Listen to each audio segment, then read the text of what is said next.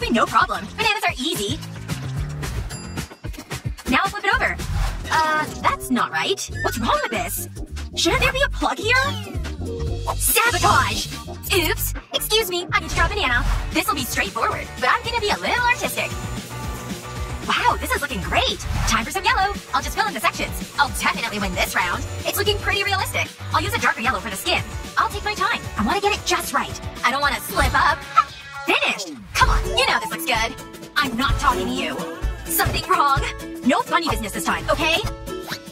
Okay, focus. I really need to be Essie. That's the outline done. I'll do the banana now. Maybe I should do this professionally. Cheryl's House of Pancakes. It's pretty catchy. Wait, I need to concentrate. Almost done. Wow, I like this one. Essie,